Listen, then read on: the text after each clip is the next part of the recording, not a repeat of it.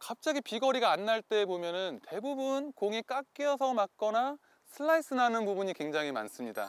그래서 어드레스를 취하고 과감하게 strong grip을 좀 더 잡음으로써 공이 깎여 맞고 열려 맞는 것을 방지할 수 있습니다.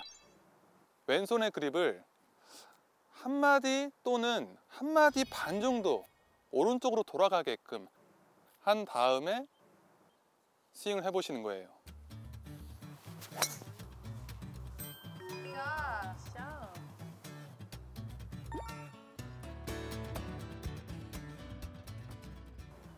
네, 이렇게 과감하게 strong grip을 잡음으로써 깎여 맞고 열려 맞는 구질이 아닌 공이 조금 더 감겨 맞으면서 약간의 드로우성 구질을 가지면서 숨은 비거리를 찾을 수 있고요. 세 번째로는 타이밍을 잡기 위한 방법입니다. 저희 주말 골퍼분들은 스윙을 했을 때 백스윙을 들었다가 너무 급하게 내려오는 경우가 굉장히 많습니다. 그래서 더 엎어치고 또 배치기 되고 이런 상황들이 굉장히 많이 발생하고 합니다. 그래서 타이밍이 굉장히 중요한데요. 어, PGA 투어에 보면은 버바슨이라는 굉장히 유명한 선수가 있습니다. 버바 왓슨 선수는 백스윙을 들었을 시 왼쪽 발 heel up을 이렇게 들어주는 것을 볼 수 있는데요. PGA 투어의 강력한 장타자 왼손잡이 골퍼 버바 왓슨인데요.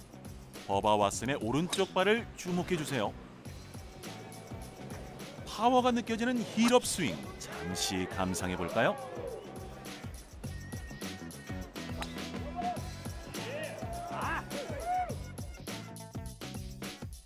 백스윙 시 오른발 뒤꿈치를 들어 올렸다가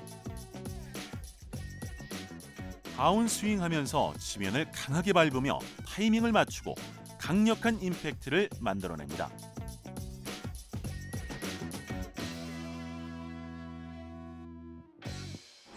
자, 타이밍을 잡기 위한 연습 방법입니다. 어드레스를 취하고 백스윙 올라갔을 시 왼발 heel up, 그 다음에 다운스윙 시 스윙, 백스윙, heel up, 그 다음에 다운스윙 시 밟으면서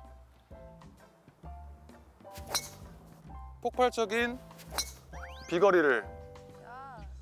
내는 것을 볼 수 있습니다.